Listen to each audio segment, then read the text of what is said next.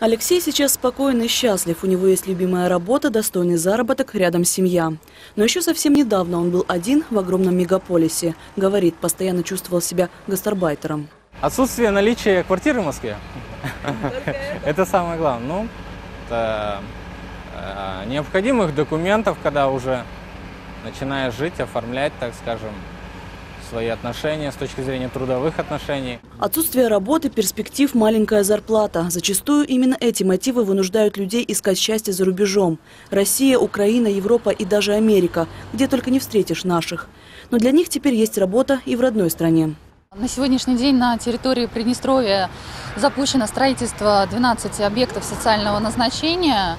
Э, Мы принимаем специалистов э, строительных профессий как к себе в штат, так и приглашаем субподрядные компании. Алексей вернулся из Москвы в родную республику именно тогда, когда появилась работа для строителя. Зарплата хорошая, работа интересная, но главное – дома, вместе с семьей.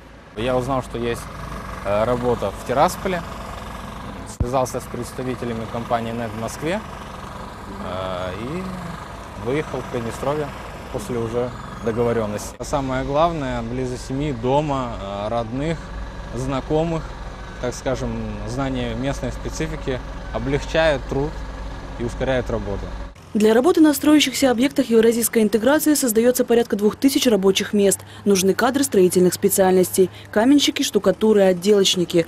Работать на большой приднестровской стройке хотят не только местные, но и соседи молдаване.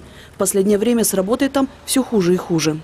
Ну, если предложат хорошую зарплату, то, конечно, какой вопрос? В таких э, условиях, конечно, могут работать. Ближе к дому, конечно. Чем ездить куда-то в Россию, в Мо- Москву, там, в Ленинград. Я думаю, что не проблема. Час туда, час обратно, и ты дома практически как по городу с одного конца в другой. Работы действительно хватает. Сотрудничать с генеральным подрядчиком хотят строительные фирмы из Молдовы. Предложения от них буквально сыпятся. Более активное желание поучаствовать э, в тендере проявляют э, компании из Украины и Молдавии. Дома и стены помогают, рассказывает сегодня Алексей Ушаков. Ведь нет ничего приятнее, чем после насыщенного рабочего дня по знакомой с детства дороге возвращаться домой, где ждут родные и близкие. Татьяна Сярова и Александр Тыш, Первый Приднестровский.